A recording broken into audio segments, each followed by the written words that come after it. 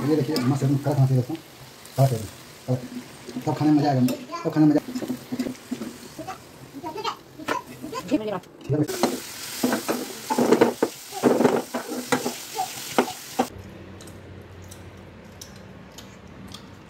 हम्म।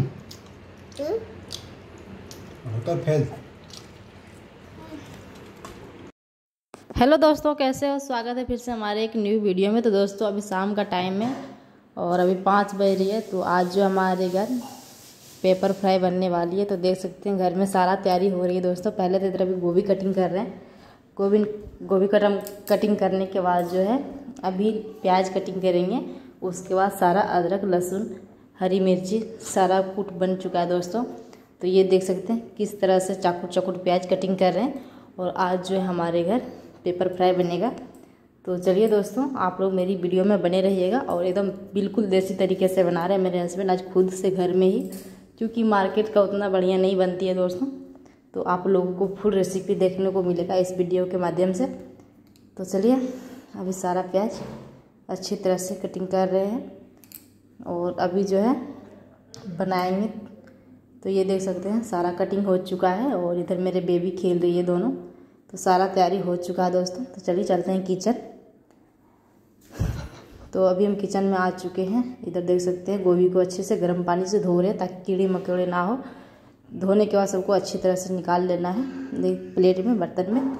उसके बाद जो है दोस्तों, पानी लाना है। तो घर में पानी नहीं है। तो इधर मेरे हस्बैंड कैन से पानी डाल रहे हैं। पीने का पानी है दोस्तों। तो चलिए मैदा निकालते हैं। तो ये है मैदा दोस्तों। हम लोग दो फैमिली खाने वाले हैं। तो उसके अनुसार ये मैदा लिए तो इसको अच्छी तरह से पानी में घोल लेना है। मैदे में डालना हमको नमक। और कुछ नहीं, और थोड़ी सी काली मिर्च डाल के इसको अच्छी तरह से मिक्स कर लेना है। हल्का पतला रखना, ज़्यादा गाढ़ा नहीं, ताकि गोभी में मेरा सम जाए। तो ये देखिए, गोभी डाल दी है इसमें। अब जो है, इधर अब मेरा तेल गर्म हो चुका है फाइनली तो ये देखिए तो अभी जो है, सारा गोभी को अच्छी तरह से फ्राई करेंगे। तो ये देखिए, तेल काफ़ी ज़्यादा गर्म हो चुका है। तो अभी जो है, गोभी को फ्राई करनी है दोस्तों। और कुछ ही देर में मेरा गोभी फ्राई हो जाएगा। तो ये देखिए, गोभी हो चुका है। तो अब जो बचा खुचा लास्ट में, उसको अच्छी तरह मिक्स और मेरा बेबी देखिए किचन में क्या हालत करके रखा है, छोटे बेबी ये देखिए कैसा खेल रहा है। तो चलिए दोस्तों, इधर फाइनली फ्राई हो चुका है, इसको पलटी करते हैं दूसरे साइड ये जो फाइनली हो चुका है। ये देखिए कड़क होना चाहिए दोस्तों। कड़क एकदम। कड़क तब खाने में मज़ा आएगा।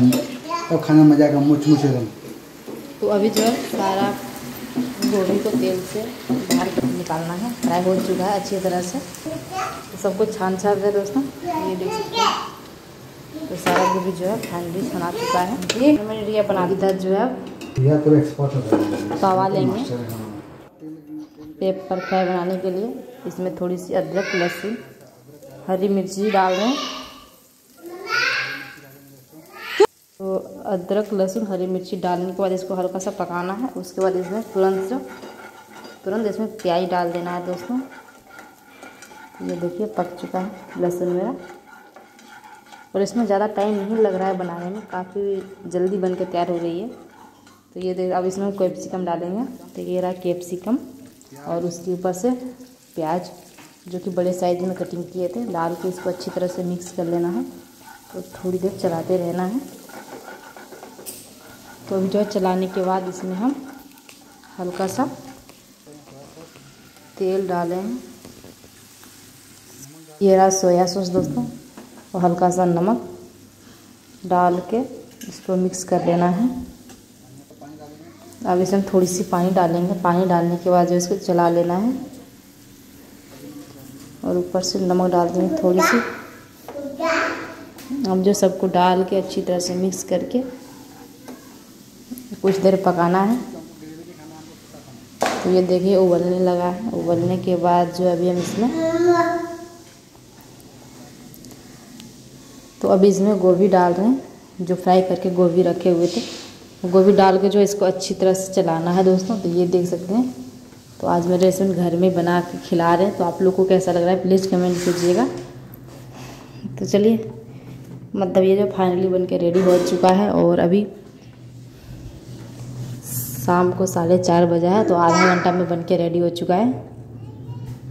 तो ये देखिए क्या बढ़िया बनी एकदम मस्त। तो अब जो इसको एक प्लेट में खाली कर रहे हैं तो ये देख सकते हैं फाइनली बन के रेडी हो चुका है। अगर वीडियो अच्छी लगी लाइक कमेंट शेयर कीजिएगा। तो भी चलते हैं सब खाना खाते हैं दोस्तों।